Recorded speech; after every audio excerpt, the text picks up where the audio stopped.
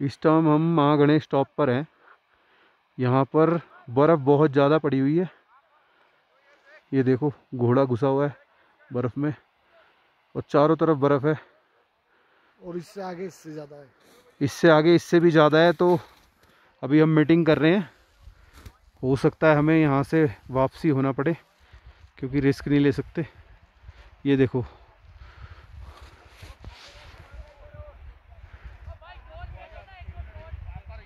ये सामने जो पहाड़ी है, हमें इसके पीछे जाना है, उसके बाद इससे भी ज़्यादा बर्फ़ है, बता रहे हैं।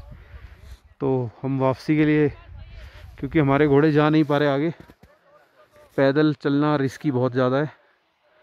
ये देखो, इतने पैर घुस रहे हैं।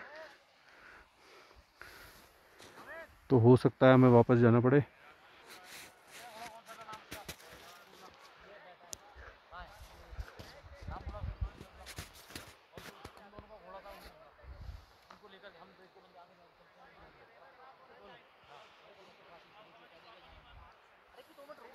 जय बोलेगी